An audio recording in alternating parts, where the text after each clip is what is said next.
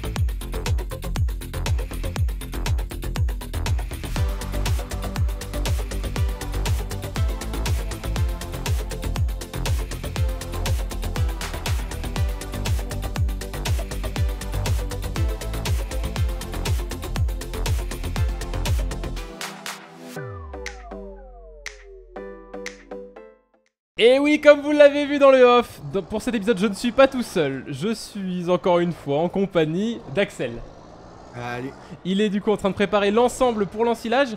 Mais juste avant de commencer l'ensilage, j'ai quelque chose à faire. C'est qu'on va aller chercher les bottes de paille, enfin les, les bigs de paille, qui sont au premier site depuis... Euh, franchement, Pas mal de temps. Ouais, 5-6 épisodes faciles, mais on attendait d'avoir du rangement. Et vu que dans le dernier épisode, on a euh, aménagé tout ça, d'ailleurs, Axel, pendant le off, l'a un peu euh, adouci.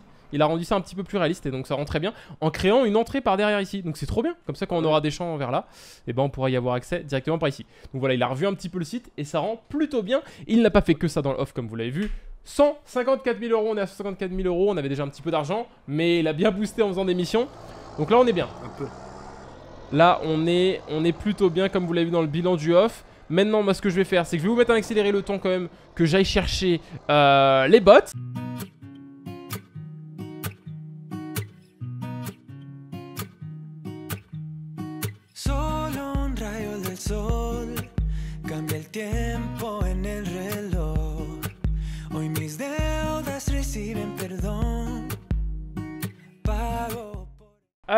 Les bigs sont arrivés. Il n'y en avait pas énormément. Je pensais qu'il y en avait un petit peu plus que ça. Bon, même pas un plateau. Enfin, ça fait quand même 31 bottes. Hein. Mais euh, ça veut dire qu'après l'ensilage, il va peut-être falloir faire un peu de blé. Déjà pour nourrir les poules. Mais aussi pour. euh, bah, tout simplement pour avoir de la paille. Donc, euh, bon, je dis pas qu'on faudra faire un gros chantier de blé. Mais au moins 2-3 champs. Ça serait sympa. Euh, du coup, Y, je crois. Voilà. Tout est bien posé. Nickel. Je vais pouvoir juste euh, ranger le plateau à côté. Ah, et en vrai, on, est tranquille. Hein, niveau rangement, on va pouvoir faire des chantiers de paille. Hein. Cela, le plateau, je le mets ici. Mais. euh, si on a beaucoup de paille, je serais même pas obligé de le mettre là. hein.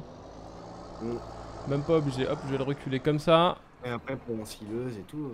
Ah ouais, c'est vrai que l'ensileuse, on va la mettre là. Enfin, on va la mettre. Ah bah oui, j'allais dire, on va peut-être la mettre sous des hangars abrités fermés, mais on peut pas. Elle rentrerait pas. Ouh. Ouh. Très juste. Hmm, je suis pas sûr. hein. Déjà qu'une autochargeuse, euh, c'est très limite. Ouais, non. Je pense que ça serait juste. Bon, on se retrouve juste au concessionnaire euh, pour voir quelle ensileuse sera l'élu. Vous allez voir, il y avait des prétendantes euh, très sérieuses. Bon, Bernard est pas là parce que 7h30, lui il est pas levé. Mais nous, on a un chantier d'ensilage à faire, crois-moi. On n'a pas que ça à faire. Hein. A... D'ailleurs, on a perdu de l'argent vu qu'on a passé une journée pour que le maïs pousse. On a plus que 147 000 euros. Putain, ça va tellement vite avec le BGA. Là, tu tu fais passer 20 jours, on n'a plus rien. C'est incroyable. Euh, bon, toujours est-il que si on va chez Bernard, c'est pour louer une ensileuse. Et en ensileuse, alors, on pouvait repartir comme la dernière fois. Euh, J'avais pas été déçu hein, sur une Jaguar, elle était vraiment nickel. Il y avait eu aucun problème avec. Et elle a un bon, elle a un bon début de chantier, elle a une belle, euh, une belle, Belle euh, une belle coupe. Donc ça permet de faire pas mal de trucs. Le problème était que nous ne sommes que deux et des fois même il y en a un sur les deux qui est pas là et du coup bah faut, faut se démerder. Et c'est assez compliqué, voire assez impossible. Donc il y avait soit la technique de reprendre cette ensileuse et de pouvoir atteler une benne derrière en achetant une masse qui permet d'atteler une benne derrière, une benne avec euh, comment dire une benne avec une flèche. Mais euh, ce n'est pas euh, le, le meilleur moyen. Je vais vous montrer. J'ai installé trois autres ensileuses qui sont vraiment excellentes. Euh, tout d'abord, on a la John Deere 8000 container carrière qui est sortie sur le mode hub, donc je crois que vous l'avez même sur console, où on peut tout simplement tirer un container, enfin j'appelle ça un container, mais un caisson, hein, donc euh, tout ce qui est IT tout ce qui est caisson roulant par exemple, ça permet d'en atteler un. Et c'est pratique parce que du coup ça permet d'avoir une trémie. Sauf que cette trémie, eh bien, elle n'est pas vidable c'est à nous d'aller au silo et de vider, ou alors de dételer le conteneur et d'en prendre un autre. Mais du coup, ça fait louer une ensileuse, ça fait louer un porte-caisson pour tracteur, ça fait, voire même deux porte-caissons pour tracteur, plus deux, trois caissons. Et euh, le temps de dételer, atteler, bah, l'ensileuse, elle peut pas avancer elle peut pas continuer son chantier. Donc ce serait une vraie perte de temps. Donc pour moi, celle-ci est éliminée, même si elle est plutôt sympa. Bon là, les jantes sont en, machin, donc c'est moche, mais quand on met en jaune, regardez, c'est vraiment la 9600i jusqu'à 9800i, si je dis pas de bêtises, voilà. autant vous dire que cette ensileuse, c'est une révolution. En fait, quand elle est sortie, genre, il y avait rien d'autre qui pouvait arriver, ne serait-ce qu'à sa cheville. Déjà parce qu'elle est magnifique, mais en plus elle a des configurations. Les mecs sont tellement dans le futur, ils se sont dit, on va mettre un drone. Oui, et quand je vous dis un drone, c'est un drone qui suit l'ensileuse et tu peux prendre la vue du drone. Et t'as le drone qui fait le tour de l'ensileuse constamment. Et c'est un vrai drone en 3D qui tourne autour de l'ensileuse. C'est incroyable. Il y a des tonnes d'options. Tu peux régler la marque, la marque de la CB, la marque de l'autoradio, euh, tout. Tu peux tout régler. C'est assez incroyable. Mais on revient au même problème du fait qu'il faille euh, atteler un caisson et donc des fois le dételer et quand on le dételle, surtout qu'il bah, y, a du rendement en ensilage, hein, ça, quand même, ça fait quand même des gros volumes, et ben euh, c'est rempli au bout de, 5 minutes quoi, donc euh, enfin même pas 2 minutes. Et donc la méthode la plus ancienne en tout cas qu'on a sur farming et j'ai envie de dire la plus pratique, ça reste. Cher. Et là, moins, ouais, et là moins cher, parce que la, Jaguar, là on partait sur 60 000 euros, 65 000 euros, juste la machine hein, pour la location. Là, on part sur 27 000 euros. Alors, je vais peut-être lui mettre, je vais lui mettre un sacré moteur. Hein. Je vais lui mettre la version turbo du moteur, donc qui monte à 900 chevaux. C'est un peu abusé, mais on a besoin de puissance. Euh, les roues, on va lui mettre, euh, oh, peut-être pas roues jumelées, je trouve ça un peu moche, mais pneus larges. Euh, ah d'ailleurs, Michelin, s'il vous plaît. Oui, merci. pneus larges Michelin. Et alors, on va pas mettre de GPS parce que je vois pas l'intérêt. je vois pas l'intérêt, même si on en reparlera, ça pourrait être utile dans certains cas. Et du coup, coût de location, c'est que 14 000 euros. Et là, vous allez me dire, mais qu'est-ce qu'il a de mieux que les autres? Et eh bah, vous voyez, ça, c'est une trémie qu'on peut vider pendant qu'on encile. Comme une moissonneuse. Parce qu'en fait, elle va se mettre en forme pour pouvoir vider comme une buse avec un convoyeur. C'est incroyable. C'est incroyable. Je vais pouvoir ensiler sans jamais m'arrêter. Et même quand Axel sera pas là derrière moi, et eh ben, j'ai une capacité de 52 000 litres. Donc ça fait quand même tampon. Hein. Ça me laisse quand même 3-4 minutes euh, le temps de le remplir. À ça, il faut rajouter euh, un cueilleur. Bien évidemment, enfin une barre de coupe. Euh, de base. Mais ouais, celui de base, je pense. Il y a la Easy Collect de 7 m 5, mais je préfère prendre celui de base de 9 mètres. Alors, est-ce que c'est plus petit? Non, c'est la même taille que du coup que la Jaguar. C'est exactement la même taille que la grande de la Jaguar. Ouais, on va prendre la X-Collect 900-3, 9 mètres euh, de coupe. Donc c'est juste parfait. C'est juste parfait. Là, j'allais acheter, ça allait acheter, donc là, j'aurais été très triste. 6000 euros. Donc ça fait un coût total pour euh, l'ensilage pour le moment de, de 22 000 euros. C'est incroyable. C'est incroyable, elle est très très belle. Et regardez, quand je vais, la déplier. Bah, je la déplierai une fois qu'on sera au champ. Axel, tu prends cette benne euh, pour l'ensilage du coup? Toujours. Ah bah nickel. Bah, j'avais envie. J'espère que, le John Deere... Eh, j'espère que le John Deere va tirer. Hein. quand même c'est un JD. Ouais, c'est vrai, c'est vrai. Alors, je déplie l'engin. Je déplie l'engin. Donc quand on fait X, ça déplie automatiquement la buse. Parce qu'en fait, quand on appuie sur O, ça déplie une autre buse. Vous allez, c'est un peu complexe, c'est un peu complexe, je l'avoue. On déplie la barre de coupe. J'espère qu'elle va marcher parce que c'est pas techniquement celle qui est faite pour mais il y a très peu de raisons euh, pour que ça ne marche pas. Bon, voilà qui est mieux. Euh, j'active donc la machine. Et là, vous allez voir, je peux ensiler sans Excel, sans aucun souci. Vous voyez, et ça marche très très bien. Plus besoin d'Excel, d'ailleurs je le mets à vendre. Il va reprendre la retraite. Voilà, la retraite, enfin la retraite. Mais euh, alors, ça remplit plutôt vite, hein. tu sais que je suis déjà à 6%. Mais ah. ça va, ça va en vrai. Et du coup, là, normalement, tu peux aller en dessous. Enfin, attends que je fasse un tour, je pense. Enfin, même si je ferai pas un tour. Je pense que, ouais, je que j'arriverai à faire un tour si je suis déjà à quasiment 15%. Donc en fait, là, annule la retraite. Annule tout, annule tout. Et si j'appuie sur O... Ah non, j'avais déjà, déjà appuyé. Si j'appuie sur O, hop, voilà, dès qu'il est en dessous, et eh ben ça vide. Euh, en plus, plutôt rapidement, je crois. Bon, faut que tu sois bien en dessous par contre. Donc ça, c'est assez galère. Ah, ça vide vite, hein. Oh ah oui. Ah, ouais, ah oui, il y a du débit, il y a du débit. Ah, c'est pas mal. Bon, c'est un peu galère de s'habituer parce qu'il faut être vachement proche et avec la barre de coupe, ça peut être un peu, euh, un peu galère. Mais euh, putain, nickel, je suis plus qu'à 5% du coup. Bon, là, je pense que tu vas pas pouvoir me suivre. Du coup, on va, on va croiser les doigts. Derrière toi. Ouais, voilà, derrière, mais sinon euh, tu pourras pas te mettre à côté. Mais je pense que je vais pouvoir faire l'aller tranquillement. Mais c'est vraiment, ça va nous faire gagner énormément, énormément de temps. Parce que là, bah, même, même si j'étais tout seul, en fait, j'irais juste remplir les deux bennes et je continuerais à ensiler. Et j'aurais juste à emmener les bennes deux par deux et euh, sans avoir d'ouvrier. Me siento feliz porque si no soy yo, pues quién? Todos caen a mi lado.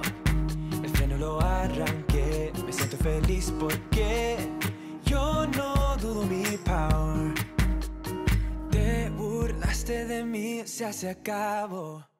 Alors, l'ensilage avance bien. Euh, T'as amené combien de bennes 4 3, 2, 2, 2 2, 2. ah, deux. ah oui, 2 New Holland et. Euh... Ouais, ouais, ok. Et t'as rempli Et la John Deere. attente. Ouais, ouais. Du coup, là, on va en amener 4. Du coup, ce sera la, la quatrième qu'on va livrer. Ça fait quasiment 200. Bah, plus de 200 000 litres, du coup. hein. Ça, ça rend, ça rend plutôt bien. Putain, c'est trop stylé. Et c'est vrai que la trémie, sans la trémie, ce serait un enfer. hein. On serait à l'arrêt constamment. Il y aurait un milliard de cuts à faire. Là, j'ai pas eu à faire un seul cut. Euh, des fois, je dois attendre un petit peu. Parce que c'est un peu short quand même. Mais euh, ça le fait, franchement. Bah, attends, vite tout. Au pire, on va aller. euh, On va aller emmener comme ça. Ah, ouais, pas pratique. Il doit être plein. Ah ouais? Ah non. Non, non. Ok, c'est bon. C'est bon, là ça devrait remplir correctement. On va emmener ça au BGA, comme ça on va vous montrer un petit peu l'avancement euh, des silos. Mais il faut savoir que il faut qu'on garde de l'ensilage euh, pour, euh, Le BGA. pour le BGA, ouais, Les justement. Le BGA et surtout pour les vaches. Une grosse partie pour les vaches, mais une partie pour le BGA, parce que le BGA, vu que ça coûte de l'argent, il faut constamment qu'on l'alimente pour pas perdre de l'argent. Donc c'est un peu bizarre, parce que le BGA, on l'a acheté pour faire de l'argent, et là, bah, on essaie de l'alimenter pour ne pas en perdre. C'est un peu, voilà, c'est un peu, euh, un peu risqué. Ah oui, il y a de quoi mettre dans les silos là. Ah bordel de merde. Ah ouais, mais là on met un million. Hein. Easy. Oui. On met un million easy. Ah mais c'est trop bien, au moins tu vois, on va pas être à s'embourber. euh. Enfin, à part le John Deere qu'on a... Merde, faut pas que je m'arrête. Qu'on a Ouais, plein le cul. Vraiment, il, est, il en peut plus. Mais en même temps, la benne à Gridel, c'est pas n'importe quoi. hein. C'est 50 000 litres. hein. 31, ouais. Je pense que IRL en descente, même avec les meilleurs freins, tu la freines pas. avec le John là, c'est terrible. hein. Oh mais c'est incroyable. hein. Putain, du coup là, il y a 200 000 litres. on- Non mais on met plus, on met plus d'un million. hein. Dans un silo comme ça, on met 2 millions. hein. Je sais plus, tu mettais combien? 2 ou 2 millions, je crois que tu Je mettais. sais plus si j'avais les grands ou les moyens d'en partir de rien en fait. Dans la, dans la saison d'avant. Je. Ils me paraissent grands les grands quand même, mais ouais, c'est peut-être possible. Du coup, ça va, ouais, ça va vite. hein. Et aussi, pendant qu'on est là, je voulais vous parler. Les vaches se sont bien reproduites. Hein. Et mine de rien, on est, on est déjà à 54 vaches. On en a payé que 40. Donc on a bien fait de pas en payer beaucoup, parce que bah, on va arriver aux euh, 200 vaches max euh, assez rapidement entre guillemets. Hein, parce qu'on en a que 54 en, deux épisodes. Mais c'est gratuit quoi. Ça, ça nous a rien coûté, si ce n'est euh, de la ration. Donc c'est vraiment pas mal. Après. Ouais, bah je pense qu'au bout d'un moment, on en revendra.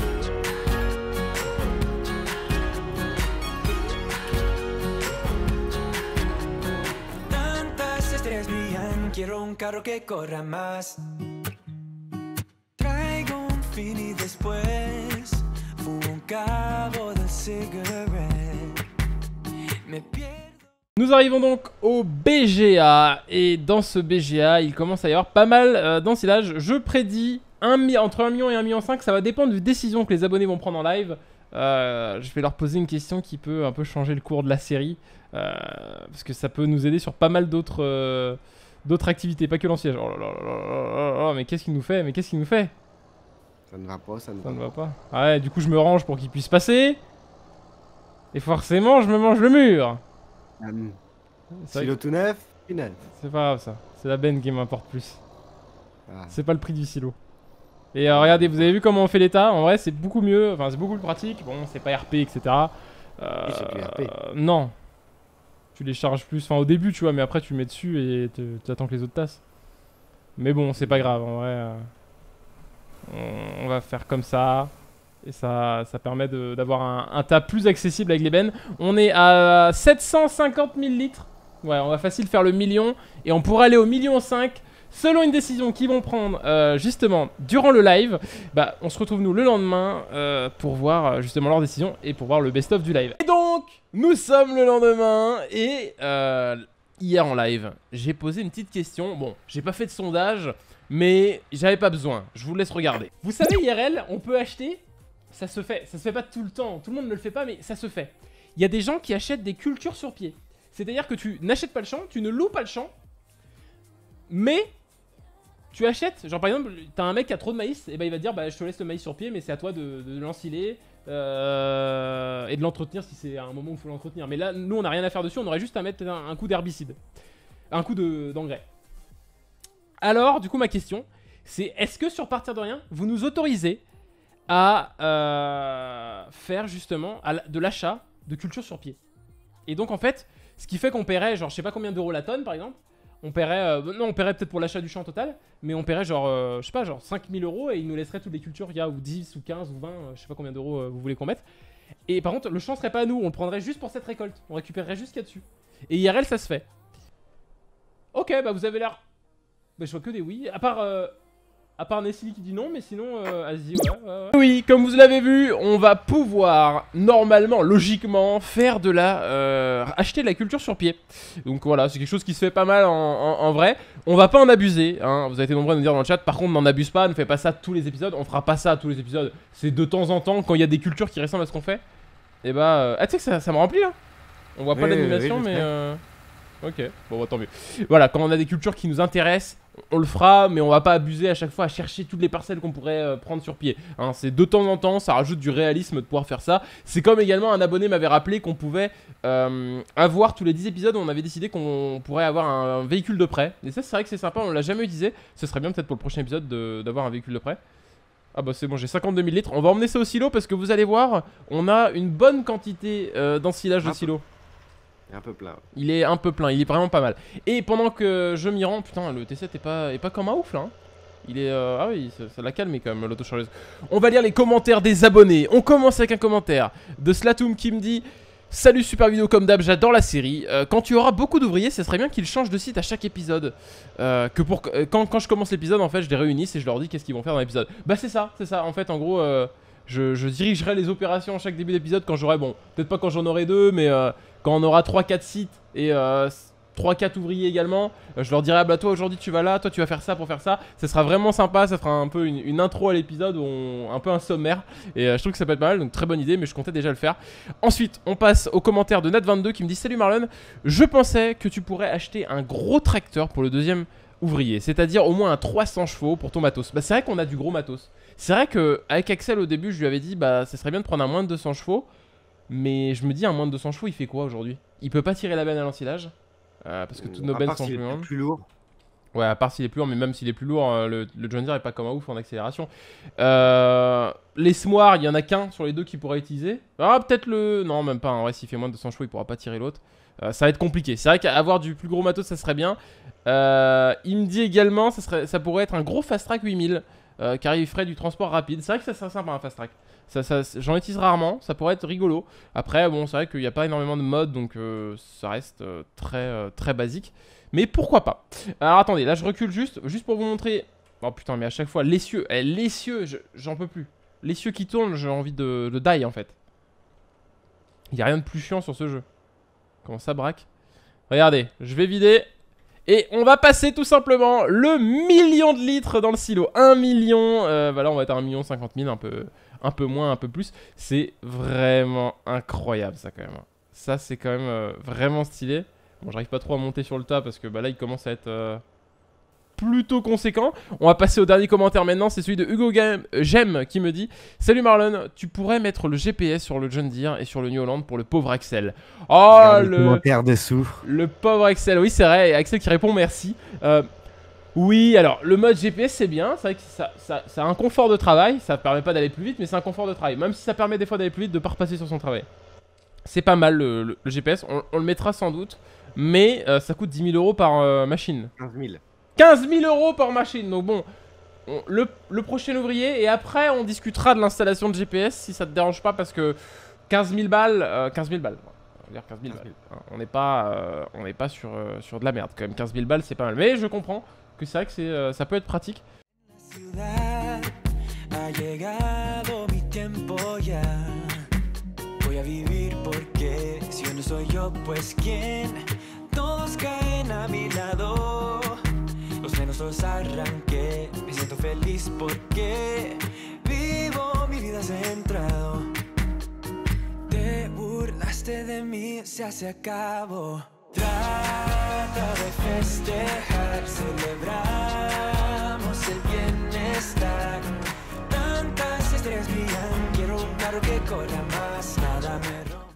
Nous attaquons notre dernier champ, enfin notre champ, non, hein, c'est un voisin, on lui a acheté sa culture sur pied. Mais d'ailleurs, euh, Axel, euh, on n'est pas vraiment au courant de combien on lui a acheté, c'est ça le problème. Et c'est là où vous intervenez, chers abonnés, ça fait longtemps que je vous avais pas posé de question euh, de l'épisode. Et ben la question de l'épisode, c'est combien paye-t-on la culture qu'on achète sur pied sur ce champ Sachant qu'elle n'a été traitée qu'une fois par nous, hein, donc quand on l'a eu, elle n'était pas traitée du tout. Donc, je vous laisse choisir entre ces quatre prix, sachant qu'IRL c'est, genre, je crois que c'est moins de 5000 euros euh, de l'hectare. C'est, non, c'est même 1000 euros Oh, de l'hectare, je crois. 1000 ou 2000 euros de l'hectare. Non, c'est moins, c'est beaucoup moins. Ah ouais. Je sais plus. Bah moi il m'avait dit 1000 euh, Braise hein, et euh, je pense que c'était les vrais chiffres. Euh, Donc euh, on, on- on va mettre une tranche, vu qu'il y a quand même je pense euh, 4-5 hectares dans, dans le champ Europe, ouais, 3-4 hectares, euh, on, on va dire euh, 5000, 10 000, 15 000 ou 20 000, c'est peut-être un peu beaucoup, 5 000 c'est peut-être un peu, euh, un peu peu mais euh, 20 000 c'est beaucoup.